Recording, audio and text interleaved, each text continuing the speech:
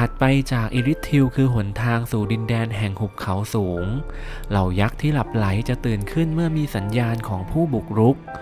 ยักษ์ที่ได้กลายเป็นอันเดดแบบเดียวกับที่พบณ Cathedral of the Deep รวมถึงอัศวินแรงไนที่ครั้งหนึ่งพวกเขารับใช้กษัตริย์ที่เคยลิงก์ตัวเองเข้ากับกองไฟ ว่ากันว่าเมื่ออาณาจักรนั้นได้ล่มสลายลง เหล่าอัศวินแรงไนต่างกระจัดกระจายออกไป และส่วนหนึ่งได้กลายเป็นอัศวินรับจ้าง ซึ่งเราเชื่อว่าหนึ่งในผู้ว่าจ้างของพวกเขาคืออัลดริชนั่นเอง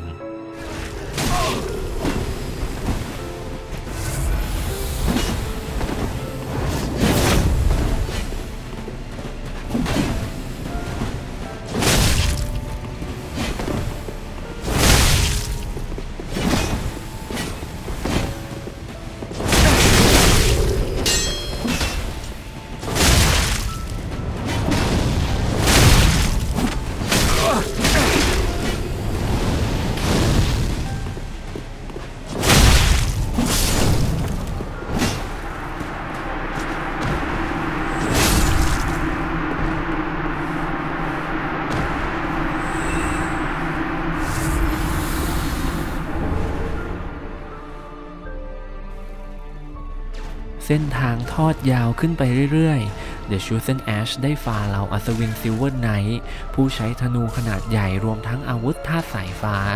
ที่เป็นสัญลักษณ์ของเทพเจ้าแห่งแสงสว่าง ครั้งหนึ่งพระองค์ได้ใช้มันเอาชนะมังกรโบราณจนสิ้นซาก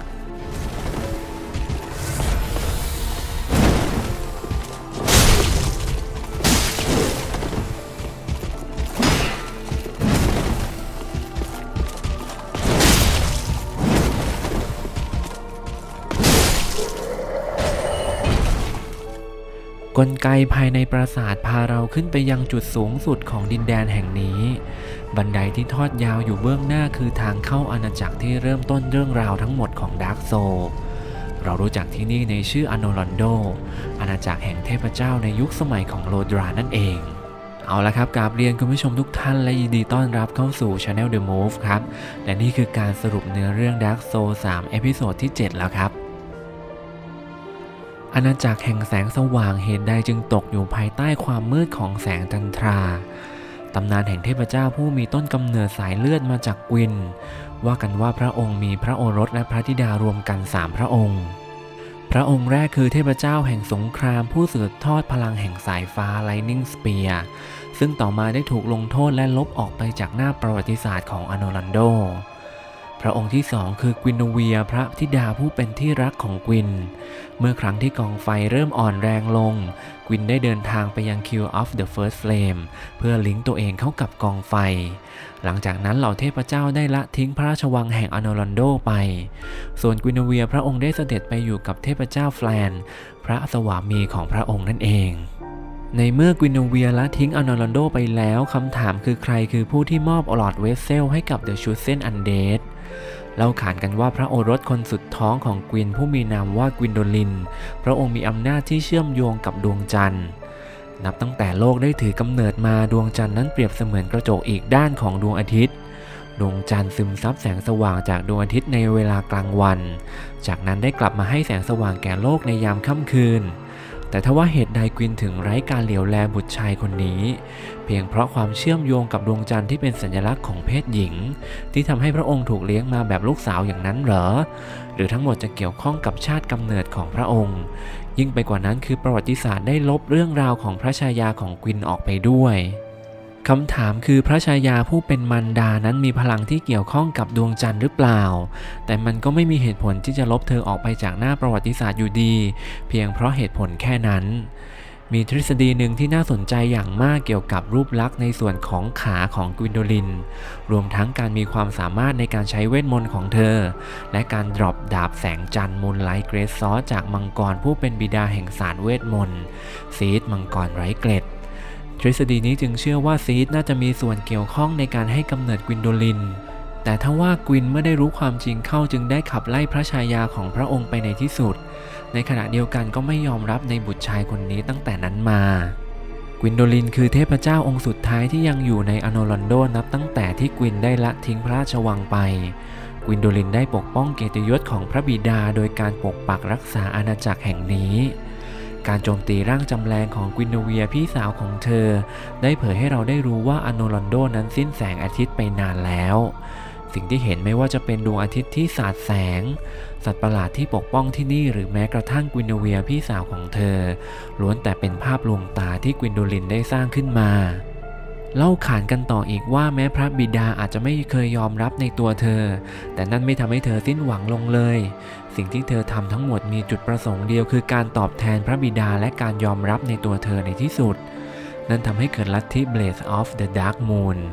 ลัทธิที่มีเป้าหมายเพื่อกำราบผู้ที่ริอาจต่อกรและลบหลู่เทพเจ้าแห่งอโนลันโด แต่อย่างไรก็ตามไม่ว่ากวินโดลินจะมีชาติกำเนิดอย่างไร หรืออำนาจแห่งแสงจันทร์ของเธอรวมทั้งการจากไปของกวิน ตอนนี้อโนลอนโดได้ตกอยู่ภายใต้แสงจันทร์แห่งความมืดไปเรียบร้อยแล้ว การเดินทางนำเราสู่ห้องลับที่ครั้งหนึ่งเคยเป็นสถานที่ซ่อนตัวของกวินโดลิน แต่สิ่งที่ไม่คาดฝันได้เกิดขึ้น ภายหน้าของเราคือพิธีศพอัศวินที่เคยร่วมเดินทางกันมา Anri แห่ง Astora ได้สิ้นชีวิตลงแล้ว ทิ้งไว้เพียงดาบประจำตัวของเธอและแหวน Reversal Ring ที่อยู่ใกล้ๆ ว่ากันว่าอำนาจของแหวนจะสามารถเปลี่ยนเสียงผู้ชายให้เป็นผู้หญิง และครั้งหนึ่งผู้เป็นเจ้าของแหวนวงนี้ก็คือ Gwyndolin แต่ใครเป็นผู้สังหาร Anri และใครคือผู้ทำพิธีศพให้กับเธอกันแน่ รวมทั้งการหายตัวไปของ Horace มีความเชื่อมโยงกันหรือเปล่า Silver Knight ที่หลงเหลือยังปกป้องพระราชวังแห่ง Anor Londo ที่ตอนนี้ถูกความชั่วร้ายกัดกิน และประตูสุดท้ายซึ่งเป็นห้องของปีศาจจอมตะกละผู้เป็น Lord of Cinder คนที่สอง Aldrich นักบุญแห่งขุมนรก การเผชิญหน้าครั้งนี้จะเปิดเผยความลับทั้งหมด สำหรับเทคนิคในการต่อสู้กับ Aldrich นั้นให้เราระวัง Soul Spear นะครับ ซึ่งยิงแรงมากๆ และมันสามารถทะลุกำแพงได้ด้วย โดยเฉพาะช่วงที่2อัลดริชจะใช้ท่า Arrow Shower เป็นการยิงธนูที่ตกลงมานับร้อยดอก ช่วงที่เราวิ่งหลบเธอจะคอยยิงโซสเปียไล่หลัง วิธีการวิ่งหลบคืออย่าวิ่งในแนวเดียวกับเธอนะครับให้วิ่งหลบในแนวที่ตั้งฉากกับเธอ เอียงซ้ายหรือว่าเอียงขวาก็ได้ แล้วคอยหาจังหวะเข้าไปบวกครับ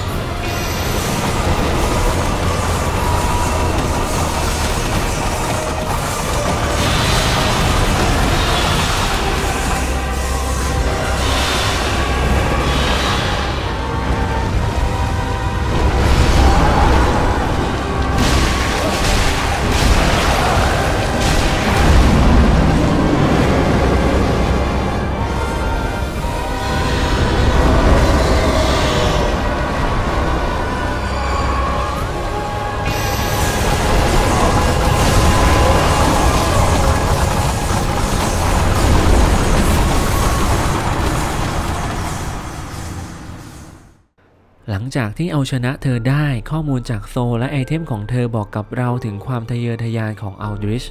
เธอเป็นหนึ่งในคนที่อยู่ในยุคที่ไฟค่อยๆ เริ่มอ่อนแรงอัลดริชนั้นมองการไกลถึงแม้ว่าเธอจะหลงไหลการกินพวกมนุษย์ แต่ความฝันที่จะได้ลิ้มรสเทพเจ้าไม่เคยจางหายไป ไฟที่อ่อนแรงมันทำให้เห็นอนาคตอันมืดมน และโอกาสของเธอได้มาถึงแล้ว เมื่อเทพเจ้าได้ละทิ้งอาณาจักรของตน เหลือไว้เพียงองค์ชายที่เฝ้าปกป้องพระราชวัง